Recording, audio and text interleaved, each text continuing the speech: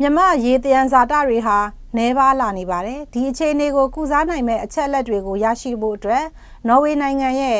ဒေါက်တာဖလီဒရော့ဖ်နန်ဆင်အန်ဝါဆိုင်ရာသူရေသနာသင်္ဘောဟာမြမကန်ယူရန်တလျှောက်မှာတလကြော်ကြာသူရေသနာလုပ်ခဲ့ပါတယ်အဲ့ဒီသင်္ဘောဘော်ကို ရောက်ရှိလေ့လာရအောင်ကိုရဲဝင်းသူကတင်ဆက်ထားပါတယ်ရှင်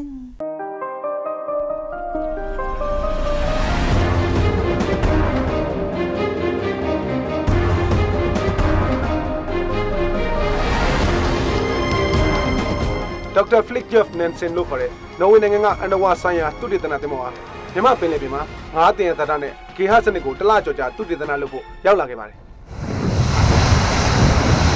အခုကျွန်တော်ဒီတင်မောယူကိုတက်ပြီးတော့လေ့လာကြည့်အောင်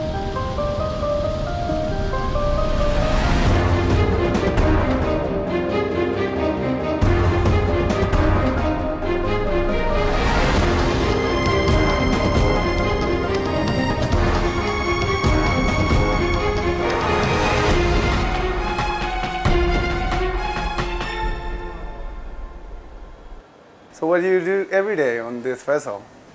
We uh, collect water samples and then we uh, analyze them for different uh, chemical parameters.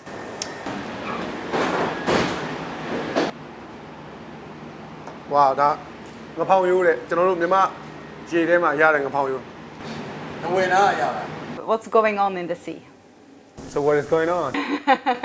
yeah, there's a lot of, of things going on. Uh, it's a very high biodiversity here in, in uh, Myanmar.